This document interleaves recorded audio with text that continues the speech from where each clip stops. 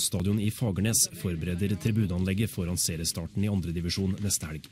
Kanskje blir det mye ballbesittende spansk tikki taka-spill her i år.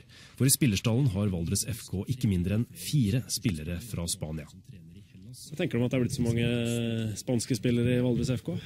Jeg syns det er veldig positivt. Den sist ankomne, keeperen Gonzalo Gutierrez Meson, har bakgrunn fra Real Madrid, en av verdens største fotballklubber, og har spilt med en rekke storheter.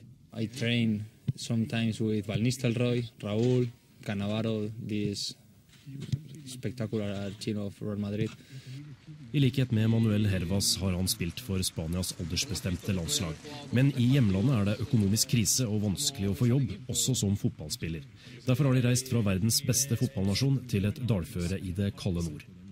In Spain, uh, it's very difficult to to stay in uh, first uh, division. Uh, it's very competitive, and maybe we we have more options out of Spain.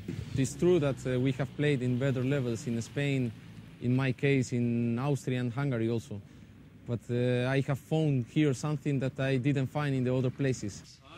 For de berømmer miljøet i Fagernes og i Valdres FK. De går på norskkurs, og Hervas har fått ansvar som assistenttrener og talentutvikler. And with people like him, we will have a good future in Valdres FK. His, his name is Andreas. eh. Okay, let's move. Let's move. Come on. Med en ny dansk trener med flere landskamper som spiller, og med bakgrunn som trener i Hellas, har Valdres FK stor internasjonal tyngde i år. Ole Skaubo kaller det en sensasjon at en liten norsk klubb har klart å hente så gode spillere fra Spania. Jamen, jeg synes, det er helt fantastisk. Jeg skjønner ikke riktig selv, at det kan lade seg gjøre, egentlig. De alle fire er ikke bare øh, en gevinst for, for fotballspillet. De er jo samtidig en gevinst for, øh, ja, for hele klubben og for hele byen. De formår virkelig å manifestere seg i byen. De går på norskkurs, og de trener andre lag i klubben, og de forsøker virkelig å bli integreret i samfunnet. Den spanske kolonien i Valdres forbereder seg på den første hjemmekampen neste søndag mot Alta. De vet ikke helt hva de kan forvente.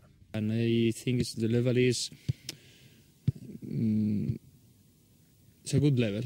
If I have to bet, I would bet that we will be between the six first. We will try to do it, yeah.